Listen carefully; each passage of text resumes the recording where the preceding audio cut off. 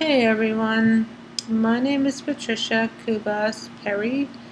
I just go by my maiden name, Kubas. Um, I'm making this little short uh, public service announcement for anyone who has a hypothyroid or hyper or basically any kind of thyroid condition. Um, I was diagnosed with this back at um, the end of December 2009, and I knew something was going on because I felt like I was beaten down, like I had the flu or something, or I mean, I felt like I was dying. It was absolutely terrible how I was feeling. So, you know, I followed up and then found out, um, which a number of years ago, my levels were almost at the range of being um, hypo uh, or hyper. I don't remember what that was, but anyhow, um, and I've had my issues with depression and just really feeling feeling lousy a lot and for a really long time. So The latest is when I had my labs done just earlier this week. Today's Thursday, June 7th. Uh, oh, one second.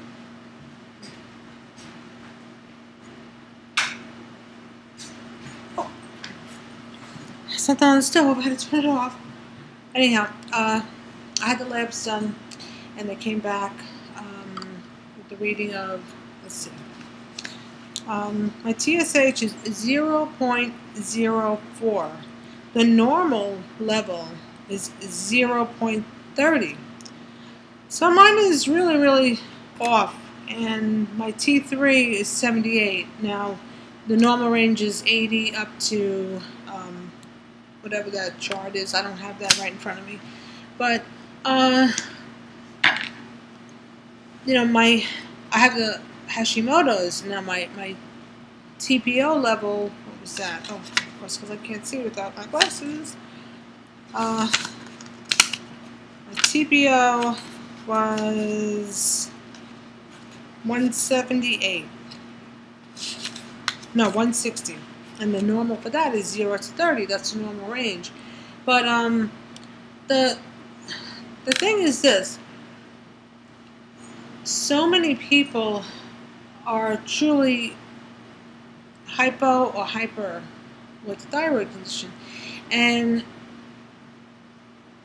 you know, further investigation has to be conducted into this with, I would say, like the World Health Organization, because, um, you know,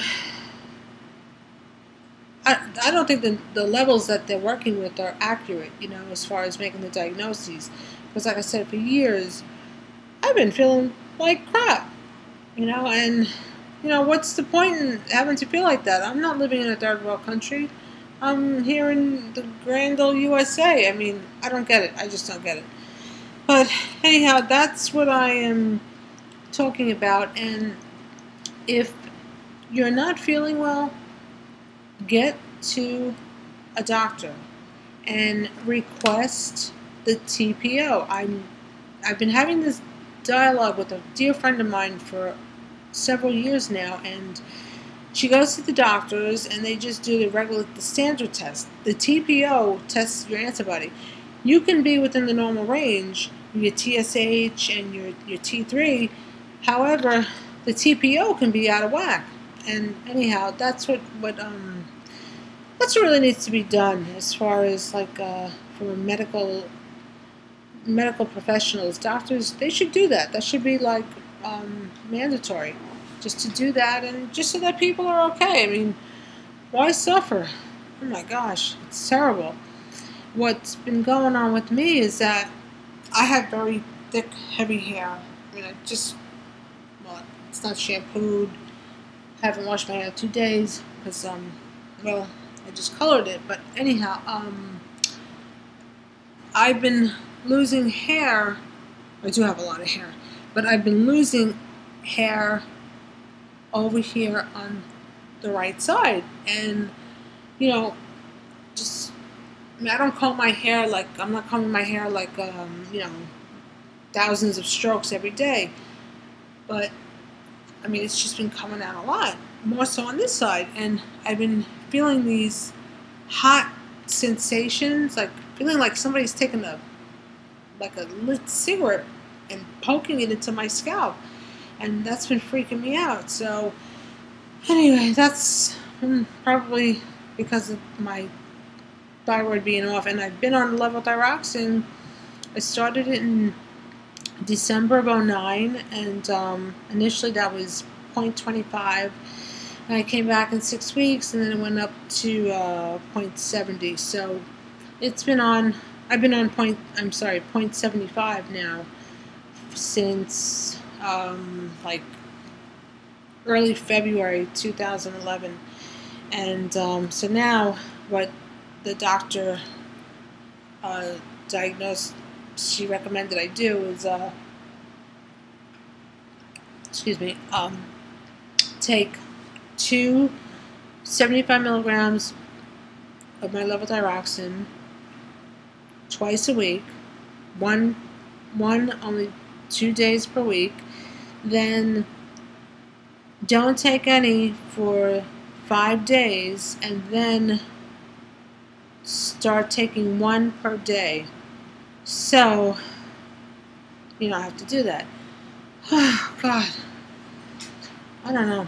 I also had, um, I had the ultrasound because I go for the ultrasound like every six months with my thyroid, and there was nothing showing there, but I have some other stuff going on because, um, well, I'm really having a hard time swallowing, and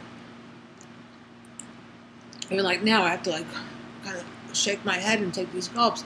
Um, I went for a swallow test last year, and um, the food was not going down the correct way, and the radiologist said something that um, well, she said, oh, that happens as we get older, our muscles get lax. And I like, okay. And I just attributed it to the thyroid, but something told me in the back of my head, mm, I don't think that that's actually the cause.